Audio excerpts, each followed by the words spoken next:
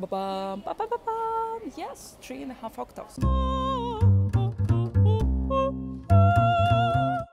Hi guys, my name is Katarina and I'm vocal coach of Singing Birds Voice Studio Rotterdam, the Netherlands. And today we are going to talk about high notes and range itself. Don't forget to subscribe my channel and push the uh, ring bell button and uh, stay in touch with me all the time.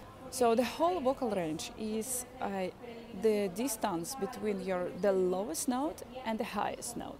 Uh, what I found very often, people do not understand that the whole range and the working range it's uh, two different things.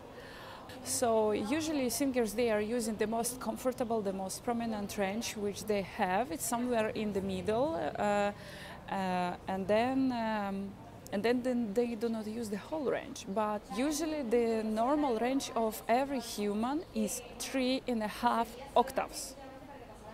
Ba-bum, ba-ba-ba-bum. Yes, three and a half octaves. No one and a half, one, no two and a half.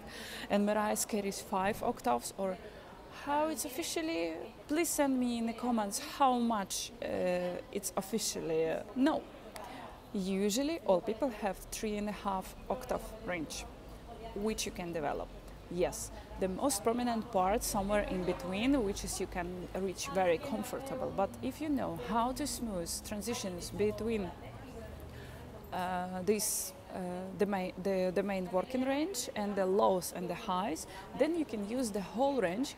How uses, for example, Beyonce, because she's mastering all the notes during whole her range. In the description below I am leaving for you special links uh, about the range, about how it's calculated, how to find out your, uh, your final range, the whole range. And um, in the next video we are going to talk about how to develop it. See you, Kate.